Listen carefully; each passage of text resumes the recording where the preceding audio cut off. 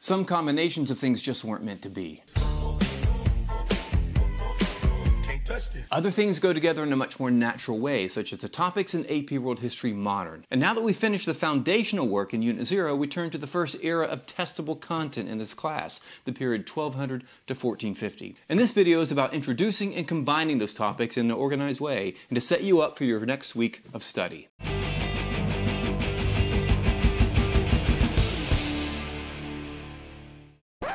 Now remember from the unboxing video that each time period in this course is made up of topics, and each topic has a page that tells us the learning objective and historical developments. And just in case you need them again, I put a link to all the topics of this course in the description to the video below. Here are the topics we'll look at in our consideration of the period 1200 to 1450. Now we could go through these topics one at a time in the order presented, but we tried that before. Man, it, it's just it dang old complicated, you know, man. It's like a dang old Rubik's Cube. That's because so many of these topics are deeply connected to others, and it's nearly impossible to teach them in isolation. For example, we'll begin this era with a look at China. Yes, I know we discussed them a lot in our video on state building Unit Zero, but China is very important this time period, and people are still talking about it today. China, China, China, China, China, China. So look at topic 1.1 and its historical developments.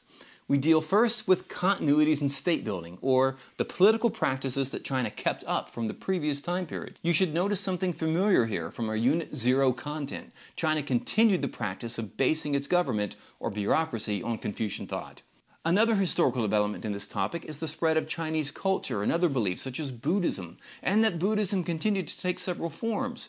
Remember, in the margin you often see a menu of illustrated examples to choose from to help you support these developments. One more historical development in this topic is about China's incredible wealth they produced in this time period. But notice that this topic goes really well with this one, topic 2.1, the Silk Roads. China was a major participant in the Silk Road trade routes, and any discussion of China in this time period will spill over into discussion about that trade network.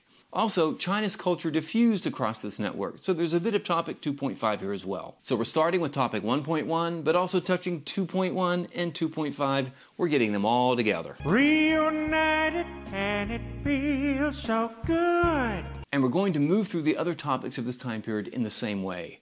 After China, we'll deal with Islam. And you remember the two things you learned about Islam in the belief systems video in Unit 0? Islam is conducive to trade and it provides the basis for unification of people into large states.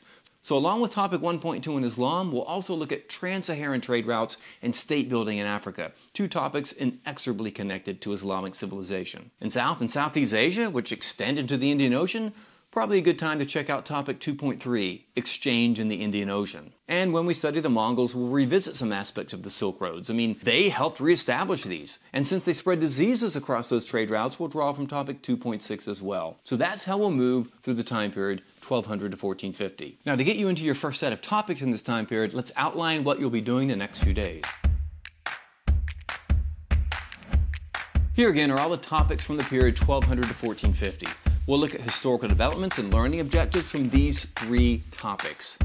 I'll navigate you across them with a trail of primary sources for you to analyze and give you some secondary sources to read as well. And the tasks you perform based on these sources you'll enter into a Google form or submit through Flipgrid. Remember that the content you learn is part of a historical development that helps us perform a task or learning objective.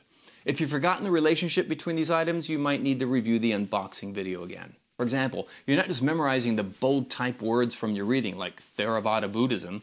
You're learning it as an example of how Buddhism continued to have influence across Asia and that it existed in several different forms, and how all of that satisfies the task of this learning objective. A learning objective turned into a question, it's answered by the historical developments and illustrative examples. In the next video, we'll continue our investigation of relevant topic pages as we turn to Islamic civilization in the period 1200 to 1450. See you then.